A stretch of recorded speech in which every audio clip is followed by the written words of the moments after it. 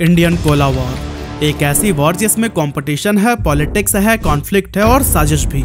इस वॉर में बहुत सारे कंपनीज़ आए और गए। सरकार ने ढेरों नियम बनाए और तोड़े। कंपनीज़ को खत्म करने के लिए साजिश तक रचा गया। लेकिन अंत में बस कुछ ही ब्रांड सरवाइव करने में कामयाब रहे। तो दोस्तों, आज के टाइम पर आप कोका कोला को पसंद करते हो थम्स अप को या फिर पेप्सी को, इससे कोई फ़र्क नहीं पड़ता। फ़र्क पड़ता है तो सिर्फ़ इस बात से कि इन सॉफ्ट ड्रिंक्स ने आपके घर में जगह बनाने के लिए क्या क्या पापड़ बेले हैं। आज से पहले आपने बहुत से राइवलरी के किस्से सुने होंगे, लेकिन ये इंडियन कोला वॉर उन सबसे कहीं ज़्यादा दिलचस्प होने वाला है। तो फिर चलिए शुरू करते हैं। अब दोस्तों, बहुत सारे लोगों को लगता है कि इंडिया में सॉफ्ट ड्रिंक की शुरुआत तब हुई थी जब कोका कोला और पेप्सी आए थे। लेकिन असलियत यह है कि इंडिया में इस तरह के ड्रिंक्स की शुरुआत कोका कोला के इन्वेंशन से पहले ही हो गई थी। क्योंकि जहाँ कोका कोला ने अपनी फ़र्स्ट ड्रिंक 1886 में सर्व की थी, वहीं इंडिया के अंदर 1837 में ही मुंबई के अंदर एक केमिस्ट हेनरी रॉजर्स ने रॉजर्स नाम के एक क्लब सोडा को बनाकर बेचना शुरू कर दिया था। जल्द ही ये कोल्ड ड्रिंक इंडियंस को खूब पसंद आने लगा, जिसके बाद से रॉजर्स मुंबई के हर बार होटल रेस्टोरेंट और क्लब की शान बन गया था। लगभग 28 सालों तक रॉजर सोडा मार्केट का एक लौता किंग बना रहा, लेकिन 1865 में इसका पहला कॉम्पिटिटर मार्केट में एंटर हुआ, जिसका नाम था पलंजी सोडा ये सोडा लॉन्च होते ही पूरे मार्केट में छा गया, क्योंकि इसका रसबरी फ्लेवर लोगों को बहुत पसंद आया। अब जब इन दोनों ड्रिंक्स की सक्सेस को कुछ पारसी बिजनेसमैन ने देखा तो उन्होंने सोचा कि क्यों ना हम भी खुद का कार्बोनेटेड ड्रिंक्स बनाकर बेचें। और फिर इसी सोच के साथ उन्होंने अठारह सौ चौरासी में अर्धसिर सोडा को लॉन्च किया, जो कि पोलॉन्जी सोडा को डायरेक्टली कॉम्पिटिट कर रहा था। और ये भी मार्केट में काफ़ी पॉपुलर हुआ। और हाँ इसी बीच अठारह सौ नवासी में ड्यूक सोडा को भी लॉन्च किया गया था, जो कि अगेन एक सक्सेस साबित हुआ था। अब दोस्तों, इस टाइम तक यूएस के अंदर कोका कोला भी लॉन्च हो चुका था, जो कि अमेरिकन के बीच में काफ़ी पसंद किया जा रहा था। जिसके बाद से कोका कोला ने यूएस से निकलकर बाकी के कंट्रीज़ में भी अपने पैर जमाने शुरू कर दिए। लेकिन दोस्तों, इंडियन मार्केट में एंटर करने में उन्हें अभी भी दो तीन डेकेट्स लगने वाले थे। इसी बीच इंडिया में कई सारे लोकल सोडा ब्रांड आ चुके थे। इसके अलावा गोली सोडा या बांटा लगभग हर छोटे से लेकर बड़े शहरों में बहुत ही वाइडली मिलने लगा था, जिसके बाद से सोडा मार्केट में पहले के मुकाबले काफ़ी ज़्यादा कंपटीशन बढ़ गया। अब अगर हम सीधे आज़ादी के बाद के भारत पर आए तो उस समय कोका कोला को इंडियन मार्केट में एंटर होने की एक बहुत बड़ी अपॉर्चुनिटी दिखी। और बिना इस बात को जाने कि इंडिया में पहले से ही लोकल ब्रांड्स के बीच एक कोला वॉर चल रहा है, इसने भी 1950 में दिल्ली के अंदर अपना प्लांट ओपन कर दिया। लेकिन दोस्तों, जब सॉफ्ट ड्रिंक मार्केट में इतने सारे प्लेयर्स उतर रहे हो तो भला पार्ले कैसे पीछे रह जाता? कई सारे पॉपुलर प्रोडक्ट्स लॉन्च करने के बाद पार्ले ने सोचा कि क्यों ना आप सॉफ्ट ड्रिंक में भी अपनी किस्मत आजमाई जाए। इसीलिए पार्ले ने उसी साल खुद का कोला लॉन्च कर दिया, जिस साल कोका कोला इंडिया में आया था। अब पार्ले भारत में एक जाना माना ब्रांड था जिसे इंडियंस खूब पसंद भी किया करते थे, इसीलिए कोका कोला को यह समझते देर नहीं लगी कि पार्ले से उसे भारी कंपटीशन मिलने वाला है। लेकिन एक चीज़ जिसने कोका कोला के झल्लाहट को बढ़ा दिया था, वो था पार्ले के सॉफ्ट ड्रिंक का नाम और पैकेजिंग असल में पार्ले ने सॉफ्ट ड्रिंक का नाम अपने flagship product Parle G glucose biscuit के तर्ज पर ग्लूको कोला रखा था, जो दिखने में कोका कोला से काफ़ी सिमिलर लगता था। और हाँ पार्ले ने फॉन्ट भी लगभग सेम कोका कोला की तरह ही यूज़ किया था। ऐसे में कोका कोला को लगने लगा की इस नाम की वजह से लोगों में कंफ्यूजन क्रिएट होगी और उसके ग्राहक ग्लूको कोला की तरफ़ शिफ्ट हो सकते हैं। इसीलिए उसने पार्ले पर नाम बदलने के लिए केस फ़ाइल कर दिया। अब केस की वजह से पार्ले ने ग्लूको कोला का नाम तो बदल दिया, लेकिन इससे कोका कोला की प्रॉब्लम का कोई सोल्यूशन नहीं निकला। क्योंकि पार्ले ने अपनी इस ड्रिंक का नाम बदलकर पार्ले कोला कर लिया था, जो कि अभी भी कोका कोला से काफ़ी सिमिलर ही था। खैर, इस विवाद की वजह से इन दोनों कंपनीज़ के बीच लगभग दो सालों तक टसल चलता रहा और आखिरकार पार्ले ने हार मानते हुए सॉफ्ट ड्रिंक मार्केट को अलविदा कह दिया। लेकिन दोस्तों, ये पार्ले सॉफ्ट ड्रिंक मार्केट का अंत नहीं था। बल्कि वो कुछ ऐसा प्लान कर रहा था, जिसके ज़रिए वो इस मार्केट में भी बना रहे और कोका कोला को डायरेक्ट कॉम्पिटिट भी ना करे। इसके लिए उन्नीस सौ बावन में उसने अपना ऑरेंज फ्लेवर्ड सोडा लॉन्च किया, जिसका नाम रखा गया था गोल्ड स्पॉट हालाँकि ये ऑरेंज कलर का बेवरेज बच्चों के बीच तो खूब पसंद किया गया, लेकिन ये यंगस्टर्स के बीच में कोई खास पहचान नहीं बना सका। और इसी वजह से अगले एक दशक तक कोका कोला ही ज़्यादातर इंडियंस की पहली पसंद बना रहा। हाँ कोका कोला को टक्कर देने के लिए उसका सबसे बड़ा कॉम्पिटिटर पेप्सी भी अब इस मार्केट में आ चुका था, लेकिन फिर भी यह ब्रांड लोगों के बीच कोका कोला के क्रेज को कम करने में नाकामयाब रहा। और इसी वजह से पेप्सी के लॉसेज लगातार बढ़ते चले गए और आखिरकार उन्नीस सौ बासठ में इसने इंडिया से एग्जिट ले लिया।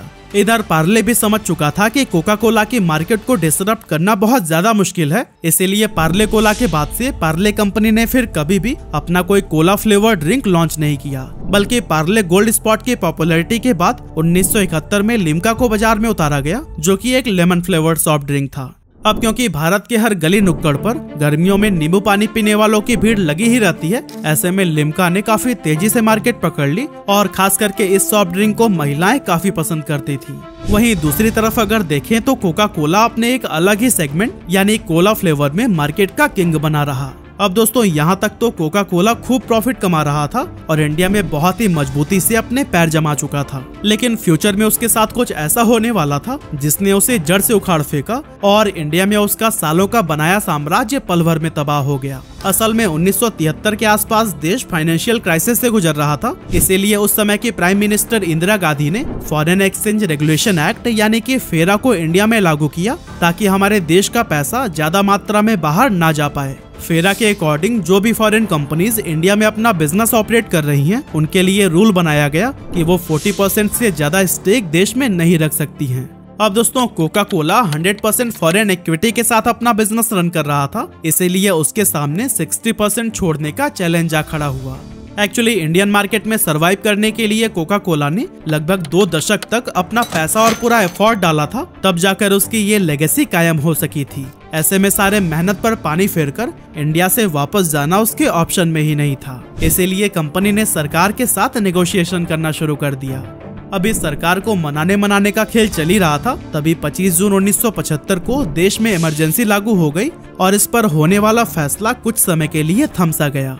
इस टाइम तक सॉफ्ट ड्रिंक मार्केट में दो ही बड़े प्लेयर थे, जिसमें पहले नंबर पर आता था कोका कोला एंड सेकेंड पर पार्ले लेकिन सरकार के दबाव के बाद कोका कोला अपना मार्केट शेयर कुछ हद तक कम करने लगा था, जिस वजह से पार्ले को अपना शेयर बढ़ाने का मौका मिल गया।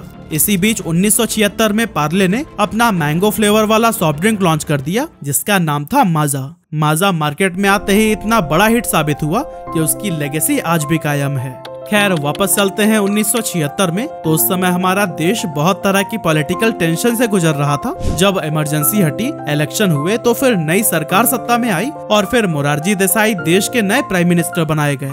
साथ ही जॉर्ज मैथ्यू फर्नांडिस ने यूनियन मिनिस्टर फॉर इंडस्ट्रीज़ का पद संभाला, जिसके बाद से कोका कोला की प्रॉब्लम घटने की जगह और भी ज़्यादा बढ़ गई, क्योंकि नई सरकार लोकल ब्रांड्स को प्रमोट करना चाहती थी। इसीलिए उन्होंने कोका कोला से कहा कि अगर वो इंडिया में रहना चाहते हैं तो अपना स्टेक कम करके 40 परसेंट कर दें और बाकी के 60 परसेंट किसी लोकल पार्टनर को दे दें। इतना ही नहीं कोका कोला से उनके सॉफ्ट ड्रिंक बनाने का सीक्रेट फार्मूला भी सरकार द्वारा मांगा गया। अब दोस्तों, अगर बात सिर्फ़ 40 परसेंट स्टेक की होती तो शायद कोका कोला मान भी जाता, लेकिन अपने सीक्रेट फार्मूला को शेयर करने से अच्छा उसने इंडिया को अलविदा कहना समझा। इधर सरकार भी जानती थी कि चाहे कुछ भी हो जाए, पर कोका कोला कभी भी अपना सीक्रेट फार्मूला नहीं देगा, और इस तरह से वो देश छोड़ने पर मजबूर हो जाएगा। एंड में यही हुआ और 1977 में कोका कोला भारत से अपने ऑपरेशंस को बंद करके चला गया। लेकिन इसके जाने के बाद सरकार को वाकई कुछ प्रॉफिट हुआ भी या नहीं, ये तो वही जाने। लेकिन कोका कोला के टेस्ट को पसंद करने वाले लोगों को ज़रूर प्रॉब्लम होनी शुरू हो गई। इसका असर ये हुआ कि कोका कोला बांग्लादेश से स्मगल होकर इंडिया आने लगा और यहाँ उसे लोगों ने तीन गुना कीमत पर बेचना शुरू कर दिया। अब जब सरकार ने इन प्रॉब्लम्स को देखा तो उसे ख्याल आया कि क्यों ना कोका कोला के प्रति पब्लिक के इस डिमांड को हम खुद ही पूरा करें। इसीलिए उन्होंने कोका कोला के तर्ज पर अपना खुद का कोला ब्रांड लॉन्च किया, जिसका नाम था डबल सेवन और इसे उस समय सरकारी कोला या सतहत्तर के नाम से भी जाना जाता था। डबल सेवन को मैसूर के central food technological research institute यानी सीएफटीआरआई ने डेवलप किया था, जो वैसे तो कोका कोला के अल्टरनेटिव के रूप में बनाया गया था, लेकिन इसका टेस्ट कोका कोला के आसपास भी नहीं था। इसी वजह से इस सॉफ्ट ड्रिंक को कोई खास पॉपुलरिटी नहीं मिल सकी। यानी कि सरकार कोका कोला का अल्टरनेटिव पेश करने में फेल हो चुकी थी और लोगों के बीच इसकी डिमांड वैसे ही बनी रही।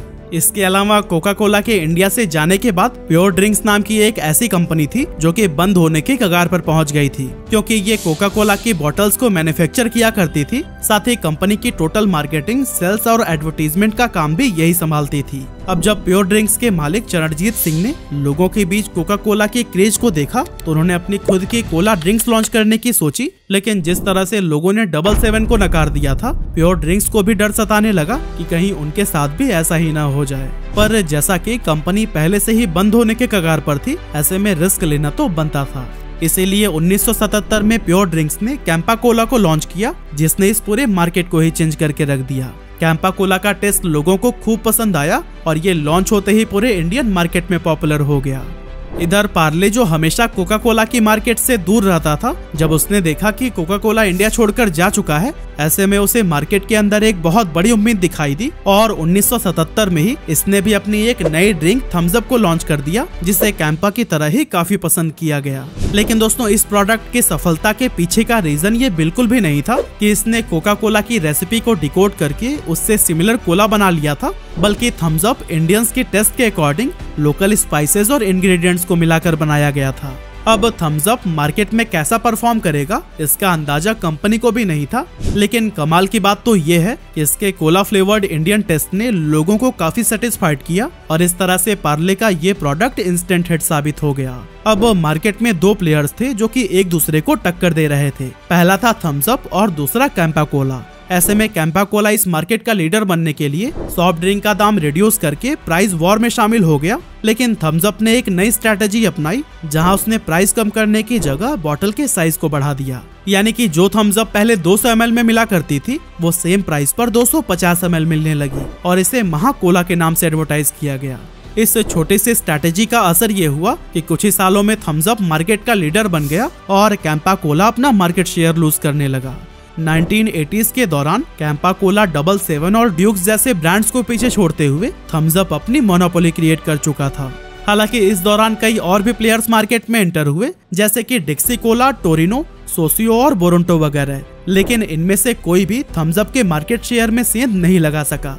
इधर पेप्सी भी बार बार इंडिया में रेंटर होने की कोशिश कर रहा था, लेकिन हर बार उसकी अपील को सरकार ठुकरा दे रही थी।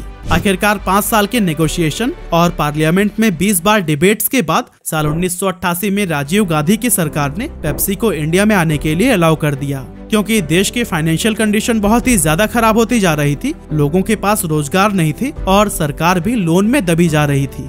ऐसे में अगर बाहर से इन्वेस्टमेंट आता तो फिर देश के डेवलपमेंट में लगाया जा सकता था। साथ ही जॉब क्रिएशन से लोगों का जीवन भी बेहतर होता।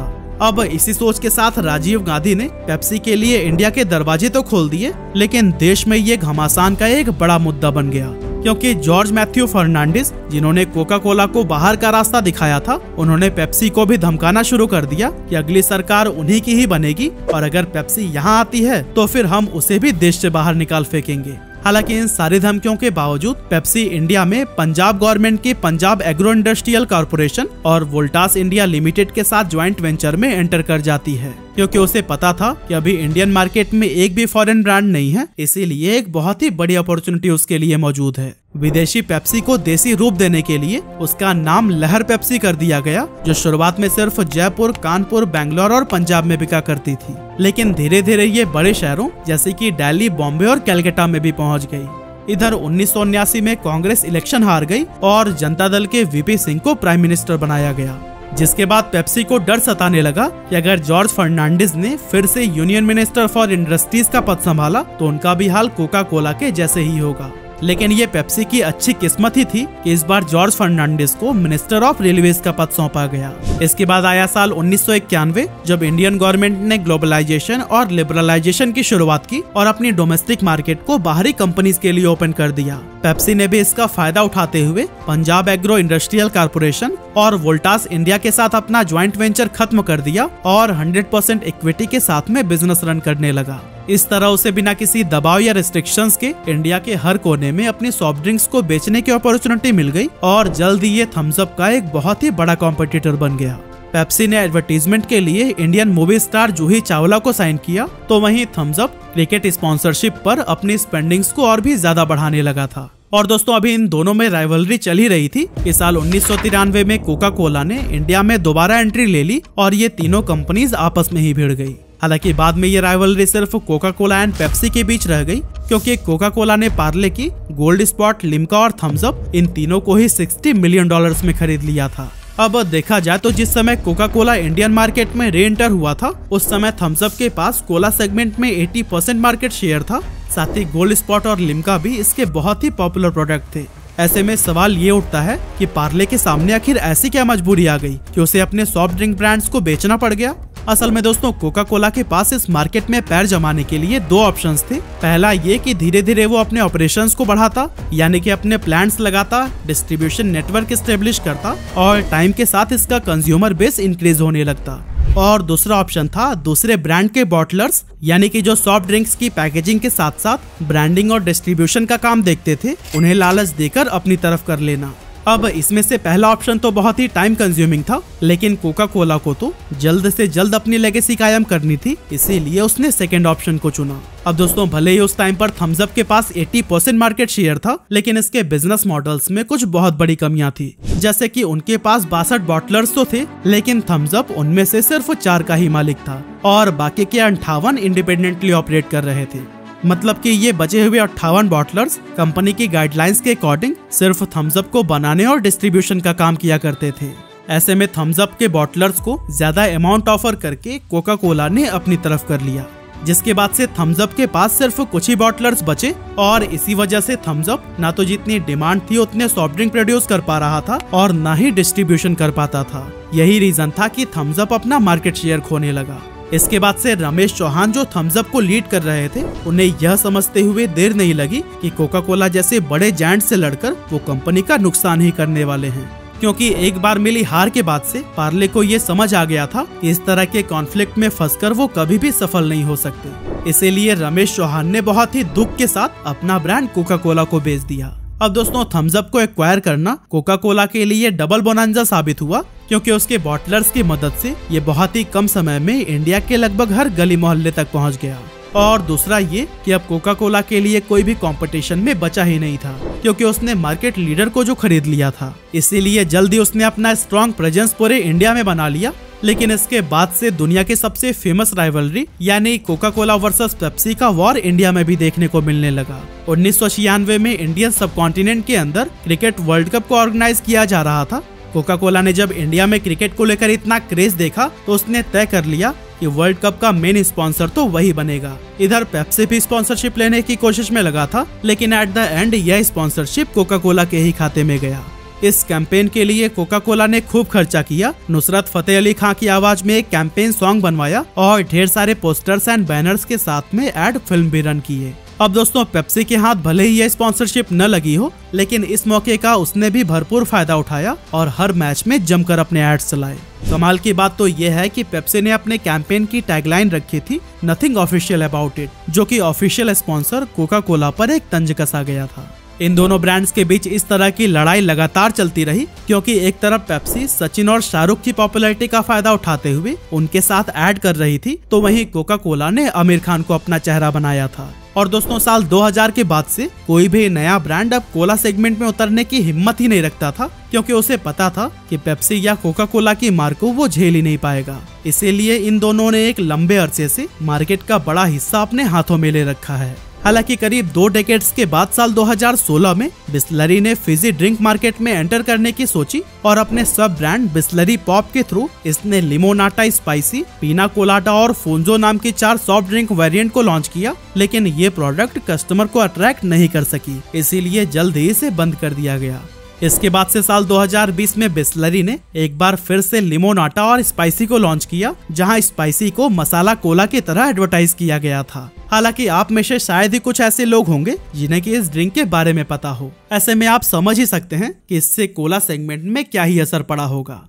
इस तरह से आज भी इंडियन मार्केट में पेप्सी और कोका कोला के बीच कोला वॉर जारी है, जिसमें मुकेश अंबानी की सपोर्ट से अब कैंपा कोला भी कूद चुका है, जो कि लंबे समय से गुमनाम था। अब आने वाले समय में यह देखना काफ़ी मज़ेदार होगा कि फ़िलहाल की तरह पेप्सी और कोका कोला ही इस कोला वॉर के विजेता बने रहते हैं, या फिर कोई और ब्रांड आकर इनकी बादशाहत को गिराता है। वैसे आपका ओपिनियन क्या है? हमें कमेंट ज़रूर करिएगा।